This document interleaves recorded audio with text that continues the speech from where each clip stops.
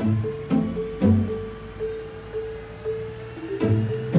was walking across Tower Hill um, and I saw this Druid ceremony taking place. There were all these people in white clothes. So I went over and heard them talking about the harvest and blessing of the land. I didn't realise at the time an obsession was born. I started visiting all these sorts of strange rituals that were taking place all over England that I had no idea were taking place.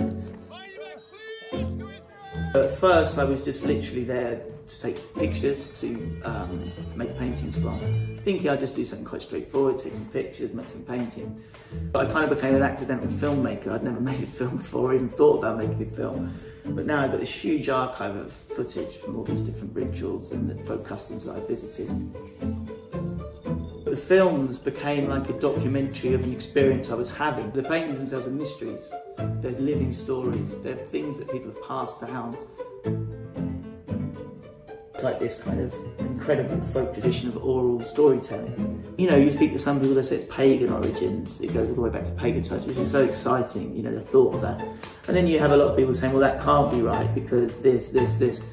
Do I care um, about the truth of if it began in pagan times? Not really. I'm a romantic artist. I love the idea that people believe that. I love the, people, the idea that people are passing down stories. And I love the fact that they keep it alive.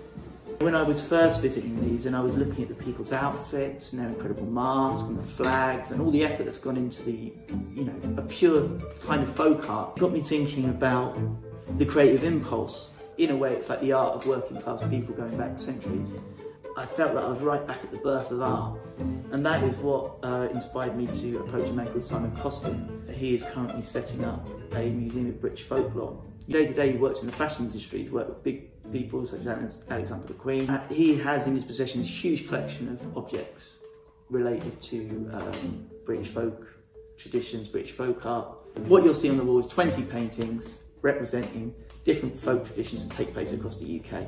There'll also be a film that captures uh, these same traditions. And then there'll obviously be Simon Costin's incredible collection. I want this exhibition to be a celebration of um, British folk culture, but also a celebration of the universality of rituals and the fact that everybody in all cultures practice this.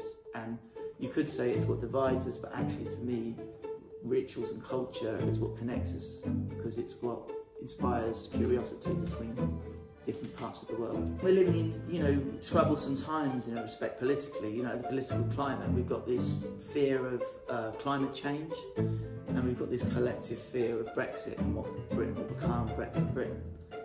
And for me, I kind of just want people to reconnect to this universal feeling of what it is to be human. It's very easy just to get pigeonholed that it's happening in Britain, but it, it's happening everywhere.